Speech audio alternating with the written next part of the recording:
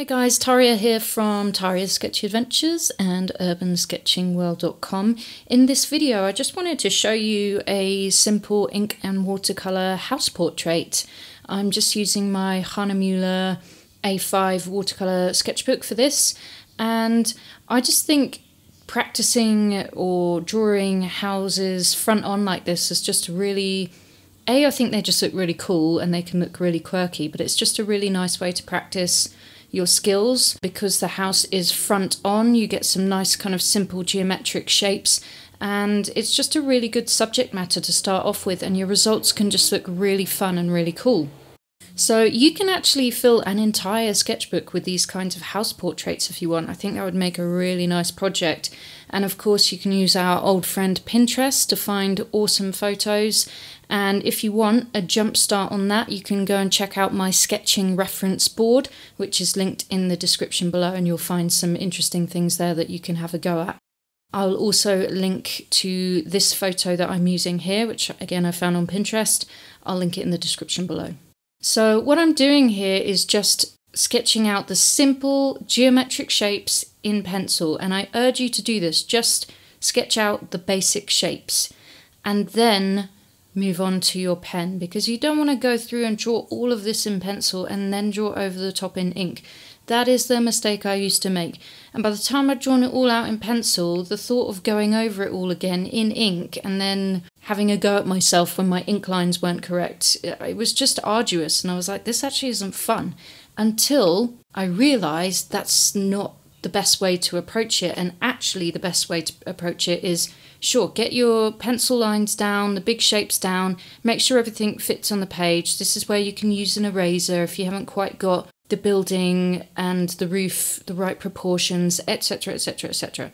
So do that and just draw in the big rectangular shapes, maybe mark out where the windows go, that kind of thing. Then put that pencil down and then grab your fine liner, your waterproof fine liner, your fountain pen filled with waterproof ink, whatever it is, pick that up and then go through and add in all the details and stuff. And don't beat yourself up if your line goes a bit crooked or if it's got a little wobble in it.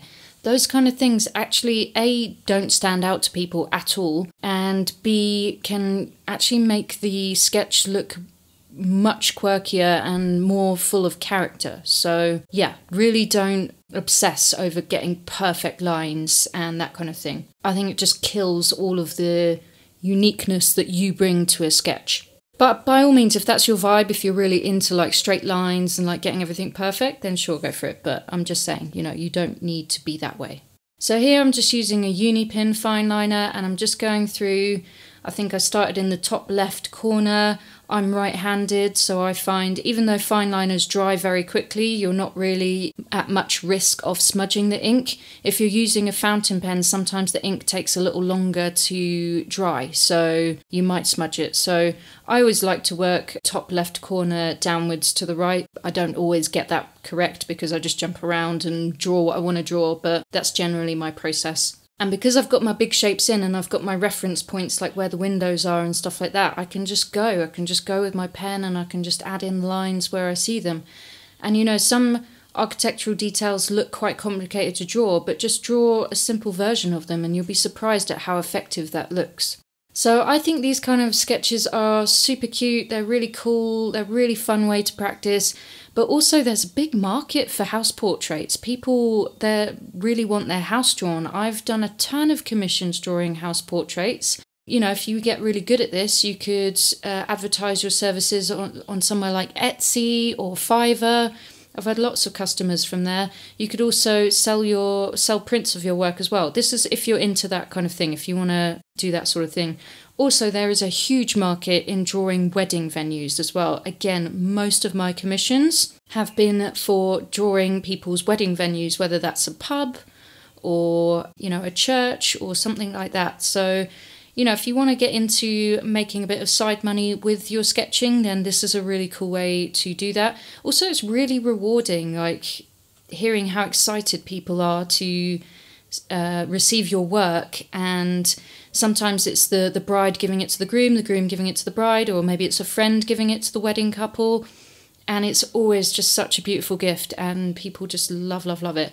And then i find that they'll come back to me and ask them to draw something for someone's birthday or whatever. And i'm quite clear with people i just prefer to do buildings. You know people have asked me about drawing family members or pets or that kind of thing. That's not really my field of interest. I really like buildings. So i just make that you know clear to people and that's cool. But um yeah if this is something you want to maybe make a little side business or whatever, or you just really enjoy the thought of people having your artwork as a gift, then this is really cool to do. So yeah, the sky's the limit. Or you could just make a fun series. You could post it on Instagram. Each each time you do one of these, you can have a sketchbook full of house portraits. It's just a really really fun thing to do. So anyway, I am getting to the end of the ink lines here. And you'll notice, you know, my arches aren't perfect and my lines aren't perfect, but generally speaking, the house is in a reasonable proportion. Like the roof versus the actual building, the doors and the windows are kind of the right size. And that's the thing you want to focus on rather than whether your lines are straight or whatever. Because that will make whatever whatever else you do, that will just make a convincing sketch if your your roof and your building, for example, are in proportion. So now I'm just going around and adding in some details. Again, this is something that can really add a bit of magic to your sketch. Drawing in those roof tiles or whatever.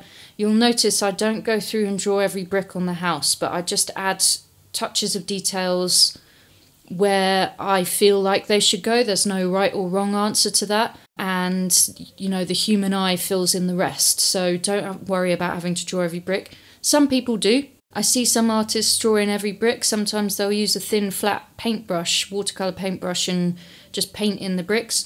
I also have done it sometimes. It just depends on the kind of feeling of the of the picture. Really, there's no kind of right or wrong answer to that. But just don't get it in your head that you have to draw every brick because you don't.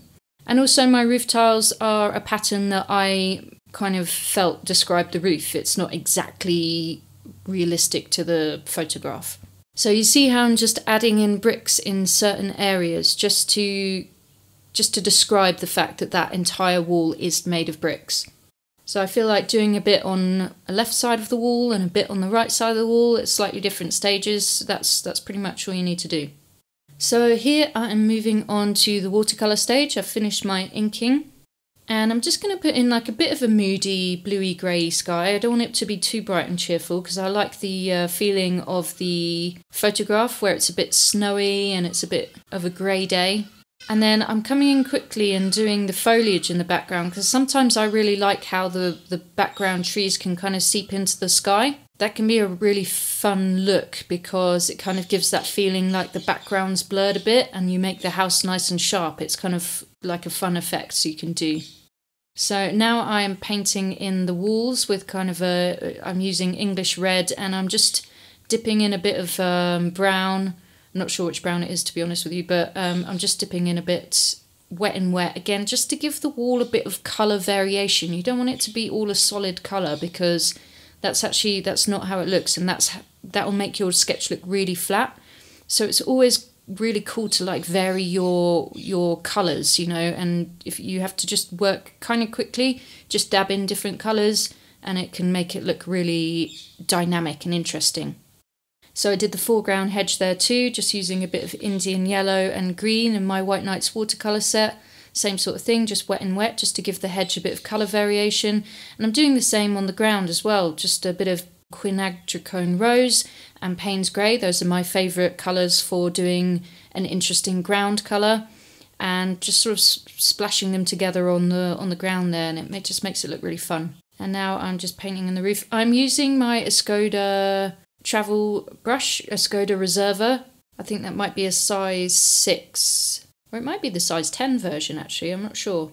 I do try and use a bigger brush to start with because again it gives everything a bit of a looser feel Again, that's my preference. Like, you can be really tight and precise and make it look really perfect, but I just think it looks so much more fun if it's a bit more slapdash. but again, personal preference.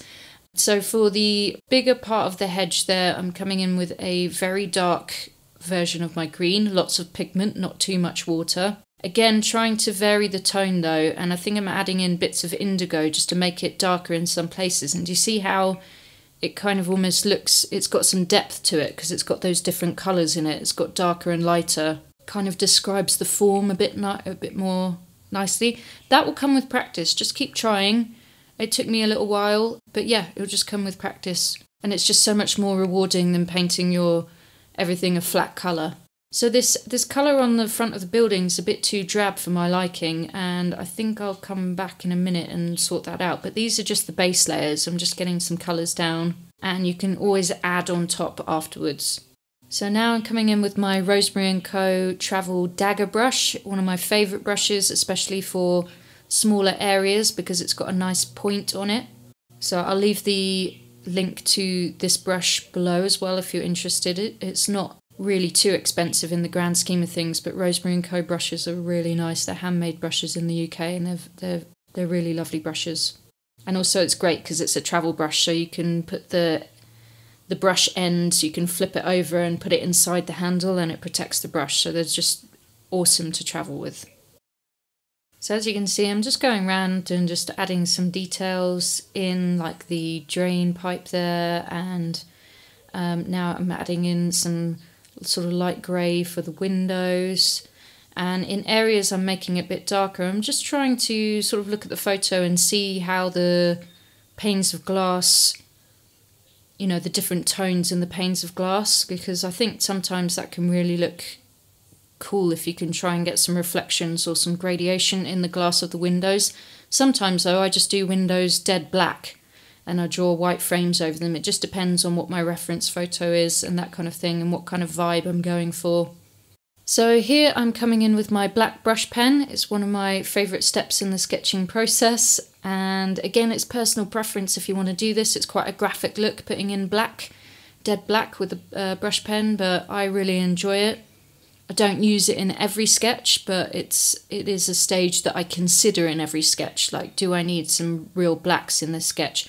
Because one way to add contrast in your sketch is to really add like strong darks and strong lights.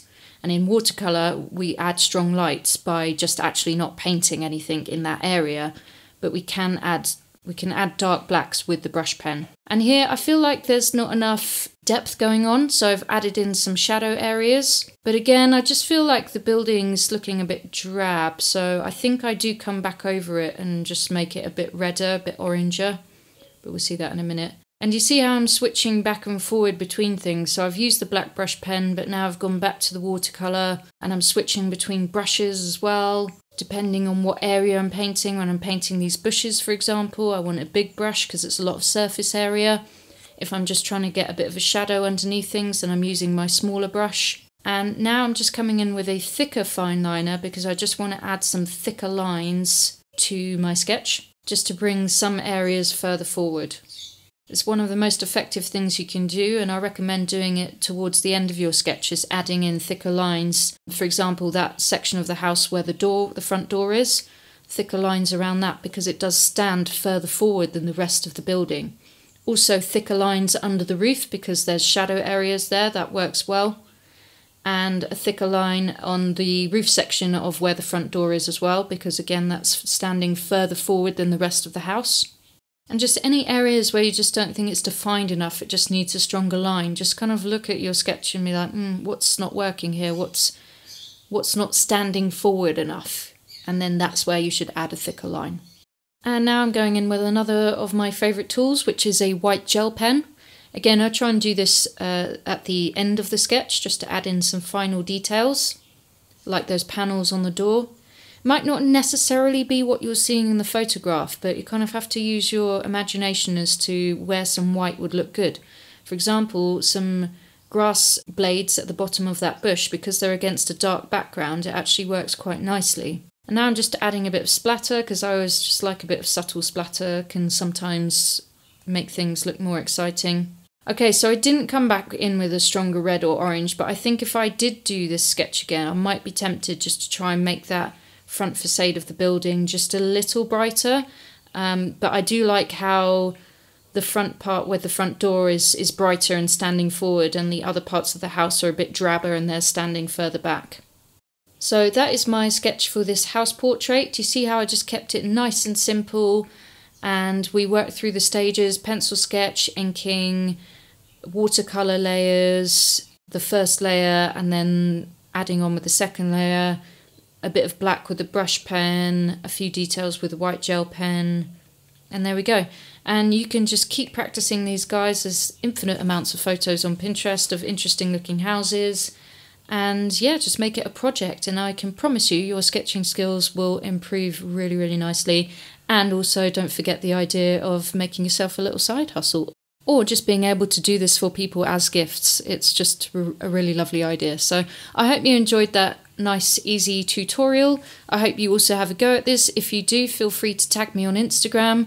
Um, you can either tag Urban Sketching World or you can tag Taria's Sketchy Adventures. I use them both interchangeably. It's probably not the slickest social media strategy, but uh, yeah, you can use both interchangeably. Don't forget to also check out my book of my sketchy adventures around the world for three years between 2017 and 2020. And I will see you in the next video.